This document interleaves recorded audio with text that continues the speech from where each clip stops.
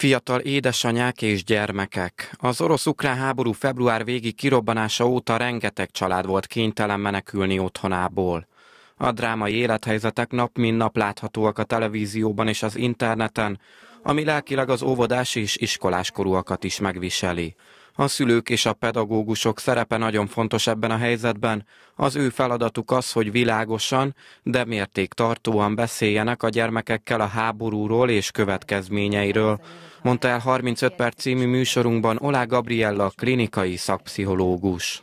A gyerekek hallják a híradóban, vagy látják a híradóban a képeket, hallják a rádióban a halottak számát, vagy, a, vagy ezeket a negatív kifejezéseket, azért e, igyekezzünk itt egy mértéktartásra törekedni. Tehát például kicsi gyerekeknek a jelenlétében mindenképpen kapcsoljuk el inkább a híradót, mert ezek a képi e, tartalmak, ezek nagyon sokáig megmaradnak, és nagyon felzaklatóak tudnak lenni talán számukra. jobban, mint a szavak.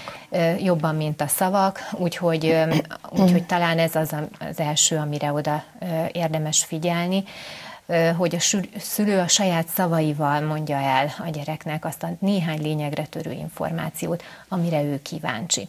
Itt is fontos arra ö, odafigyelni, hogy mit kérdez a gyerek, és mennyit kérdez, és ne terheljük túl, ne mondjunk túl sokat, ne mondjunk túl konkrét dolgokat, igyekezzünk megnyugtatni őt arról, hogy ő biztonságban van. A szakember hozzátette, ugyanilyen fontos a nyugalmas légkör és a folyamatos kommunikáció megteremtése az iskoláskorú gyermekeknél.